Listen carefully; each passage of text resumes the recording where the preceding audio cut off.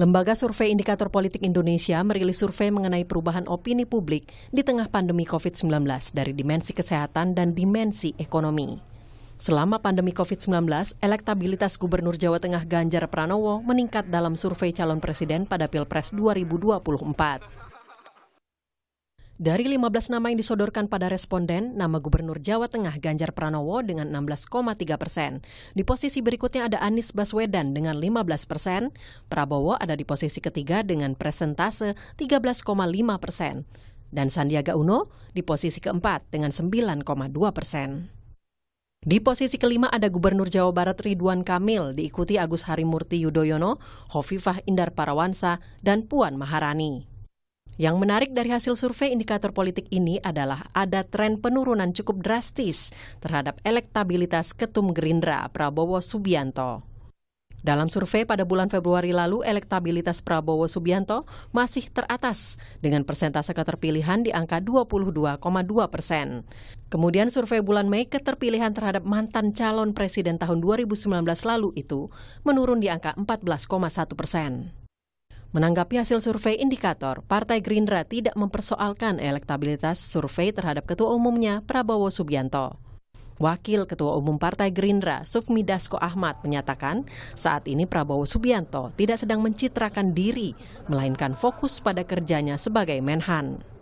Pak Prabowo pada saat ini justru konsentrasi untuk melakukan kerja-kerja bagi rakyat sebagai Menteri e, Pertahanan.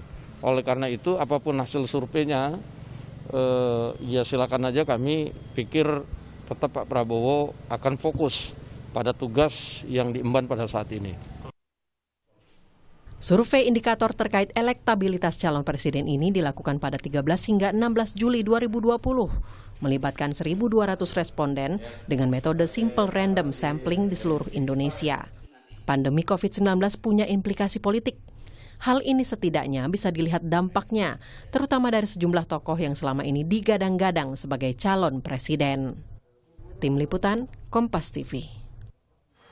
Pandemi COVID-19 dianggap punya implikasi politik dan hal ini setidaknya Ada... bisa dilihat dari hasil survei elektabilitas calon presiden yang dirilis indikator politik tren elektabilitas Gubernur Jawa Tengah Ganjar Pranowo ini terus meningkat. Bahkan tadi kalau kita lihat dari hasil survei berada di posisi paling atas. Di sisi lain, tren Ketua Umum Partai Gerindra Prabowo Subianto terus menurun.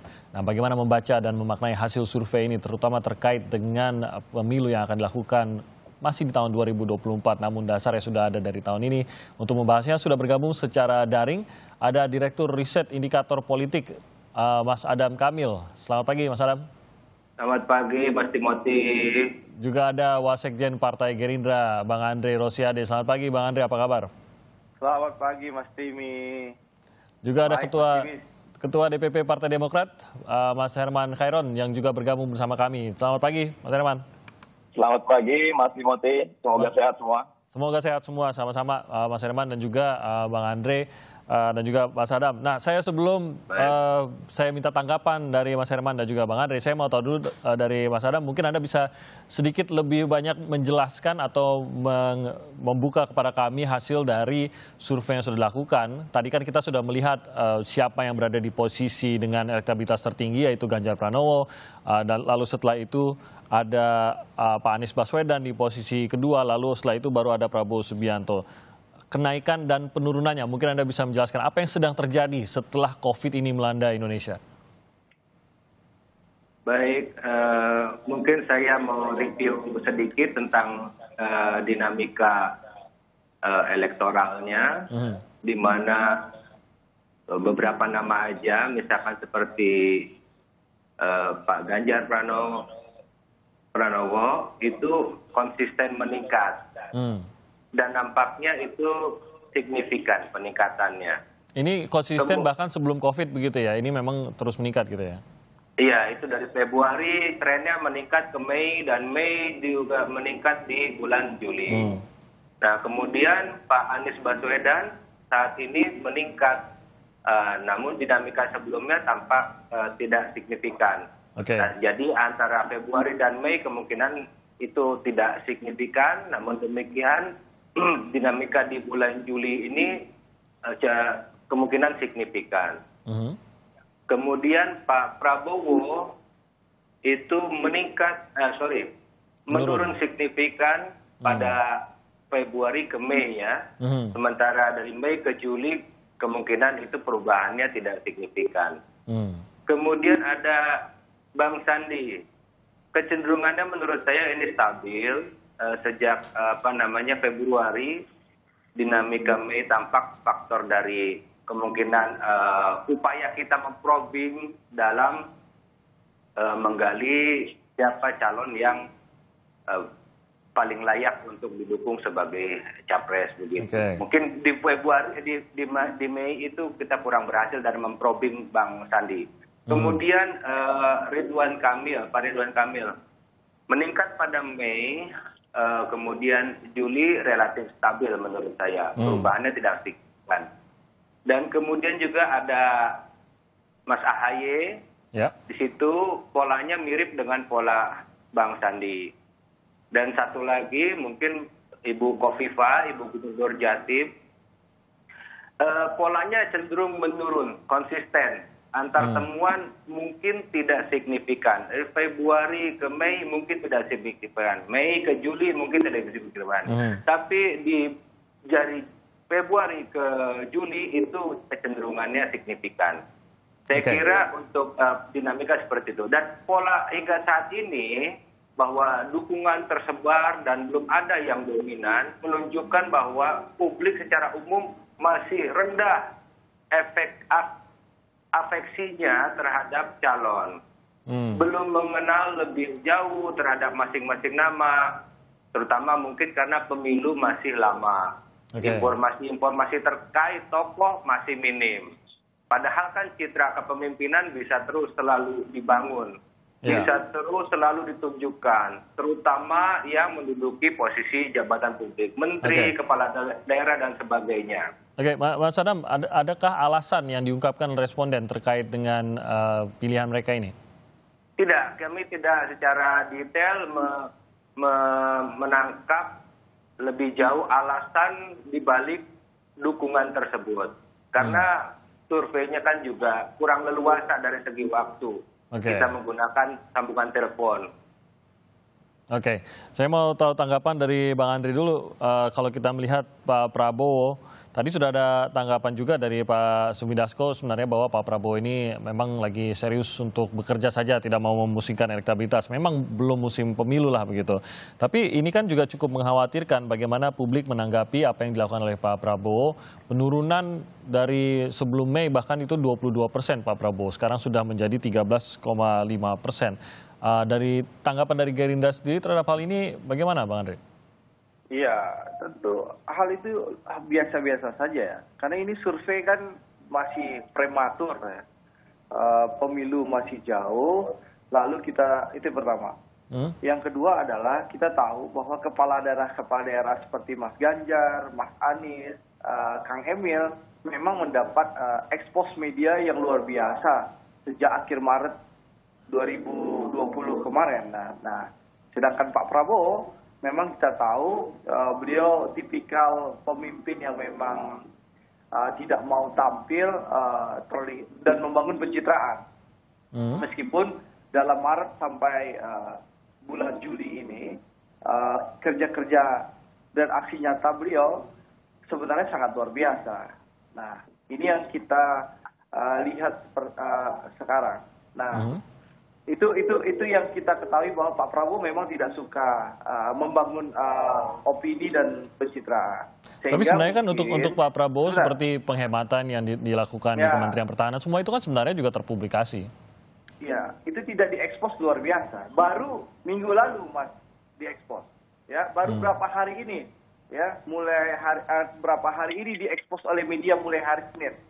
Ya, bahwa ada penghematan 50 triliun. Ya. Lalu bagaimana Pak Prabowo berkomitmen membangun industri perdus, uh, uh, industri apa pertahanan nasional sesuai dengan permintaan presiden.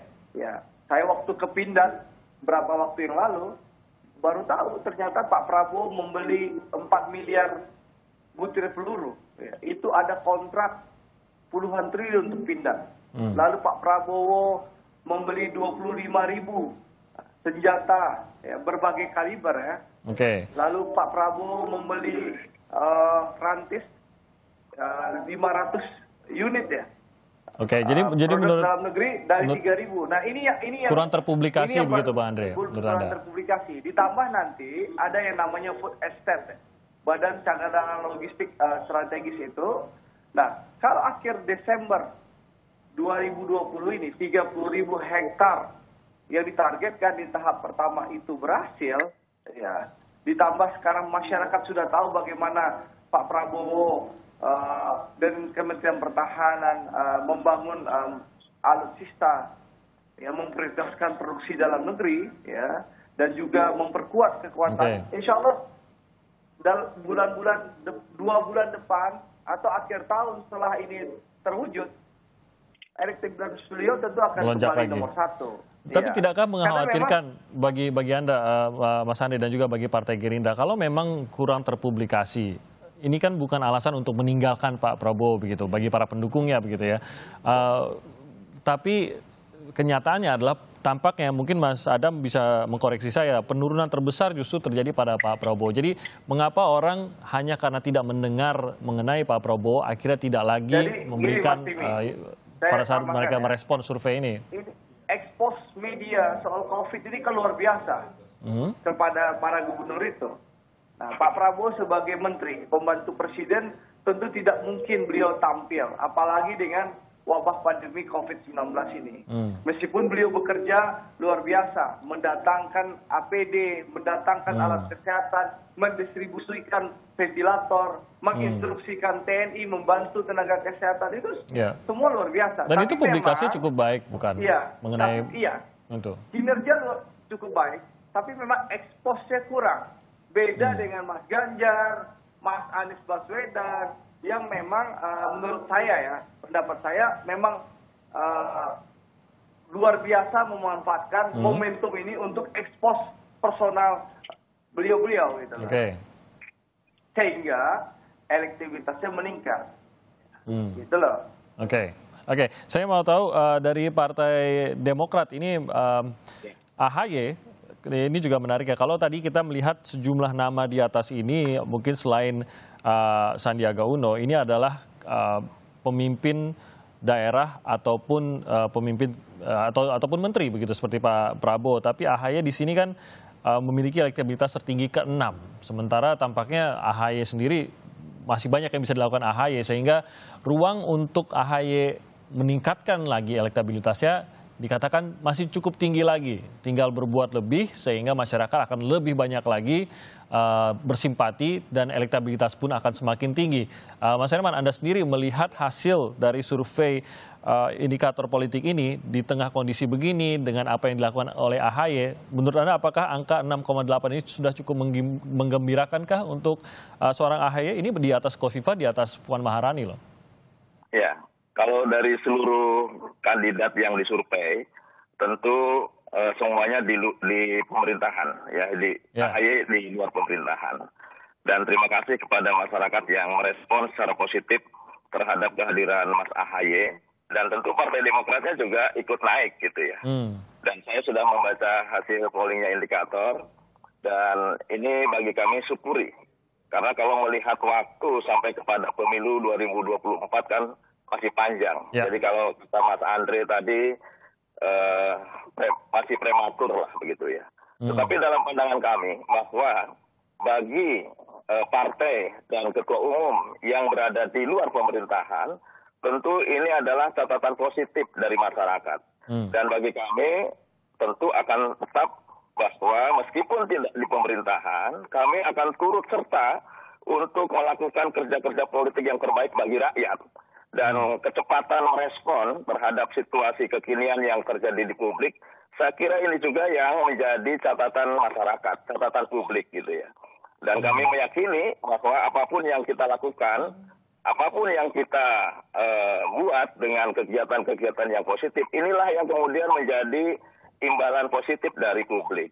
Nah oleh karenanya tentu kami mensyukuri ya apa pun karena melihat uh, trennya Mas AHY juga meningkat, melihat tren uh, partainya juga meningkat, tentu ini adalah catatan-catatan bagi kami dan terus kami akan uh, bekerja yang terbaik bagi masyarakat dan ya mudah-mudahan 2024 okay. nanti kami bisa bersaing dengan partai maupun kandidat uh, presiden lainnya. Gitu. Kalau dari Partai Demokrat sendiri bisa menganalisa begitu, apa kira-kira yang masih uh, dari AHY ini apa yang masih memenangkan hati masyarakat sehingga walaupun uh, dia adalah ketum yang berada di luar pemerintahan, ternyata masih bisa mencuri perhatian masyarakat.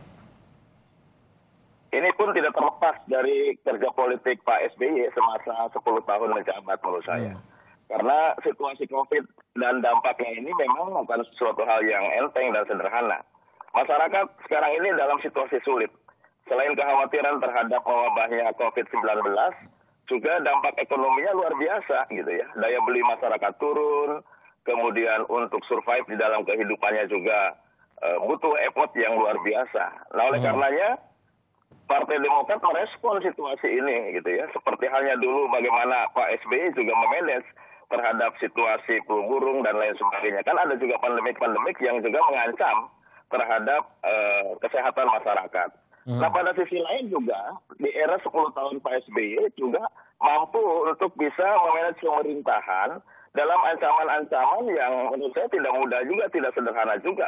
Situasi krisis ekonomi pada eh, 2008 itu juga sebetulnya beresiko. Kemudian 2012, dampak-dampak dari uh, krisis tahun 98 juga ini masih terus uh, mengikuti perjalanan kepemimpinannya. Ini menjadi catatan positif bagi rakyat. Nah sehingga ketika kemudian muncul figur AHY yang saya kira sangat agresif, dinamis, dan ada harapan, ada harapan masyarakat bahwa uh, Mas Ahaye bisa juga hadir dalam kontestasi di masa yang akan datang. Okay. Dan tentu ini juga harus sejalan dengan peningkatan uh, elektabilitas partai agar situasi stabilitas uh, ekonomi maupun uh, penyelesaian terhadap COVID ini tentu bisa diselesaikan depan. Ada harapan, okay. harapan dari masyarakat meski kami sekali lagi di luar pemerintahan. Uh, Mas Herman tadi Mas Andre sempat menyebut ada beberapa target yang atau yang sudah direncanakan akan dilakukan oleh Pak Prabowo selaku Menteri Pertahanan begitu. Nah ini kan menjadi kesempatan bagi nama-nama seperti Pak Prabowo ataupun target-target dari kepala pemerintahan seperti Pak Ganjar, Pak Anies dan lain-lain. Uh, ada target, ada kinerja yang sudah pasti akan mereka lakukan, ya kita harapkan begitu, dan sudah pasti nanti akan mendapatkan publikasi karena berkaitan dengan uh, orang banyak begitu. Sementara kalau AHY seperti tadi kita uh, sebut bahwa berada di luar pemerintahan, oke okay lah saat ini angkanya sangat baik sekali, 6,8 persen dari survei indikator ini. Tapi bagaimana agar ini bisa berjalan lebih panjang, apalagi sampai ke 2024, mengingat AHY saat ini kan tidak menjabat dari, di posisi publik, kepala daerah, dan lain-lain, uh, akan lebih sulit mencuri perhatian lebih besar dari masyarakat, dari uh, media, dari para orang-orang yang berpengaruh begitu kami sedang tahapan konsolidasi. Kebetulan hmm. saya kepala BPOKK. Jadi saat ini kami sedang mengkonsolidasikan seluruh potensi. Dan tentu bukan berarti kami kehilangan untuk melakukan apa yang terbaik di uh, di masyarakat. Misalkan kami masih memiliki anggota DPR RI. Uh -huh. Kami juga memiliki anggota DPRD, provinsi, DPRD kabupaten di seluruh Indonesia. Hmm. Kami juga memiliki pimpinan-pimpinan daerah yang ya. tentu ini jika kemudian uh, semuanya digerakkan oleh kepemimpinan Mas Ahaye dan pada akhirnya menjadi kerja-kerja politik yang hmm. dapat dirasakan oleh masyarakat, rasanya ini menjadi momentum ya dikala masyarakat uh, resah terhadap mewabahnya virus corona ini dan hmm. kemudian dampak ekonominya. Ini yang tentu terus dibangun ya dan kami juga tidak pernah lelah untuk terus bekerja untuk rakyat.